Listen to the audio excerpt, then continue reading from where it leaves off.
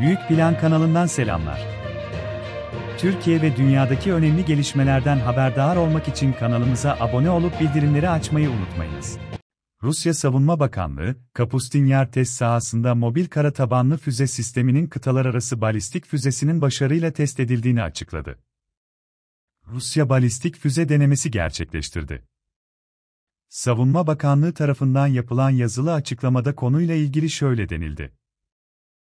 Bugün, Stratejik Füze Kuvvetleri Muharebe Birimi, Astrahan bölgesindeki 4. Devlet Merkez Servisler Arası Füze Test Sahası Kapustinyar'dan, mobil kara tabanlı füze sisteminin kıtalar arası balistik füzesini başarıyla fırlattı.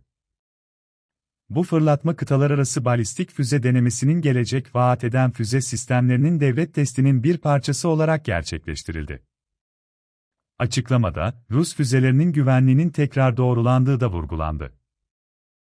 Öte yandan balistik füzenin fırlatılmasından sonra sahanın bulunduğu bölgeye yakın noktalarda yaşayan bölge halkı o anları cep telefonlarıyla kaydetti.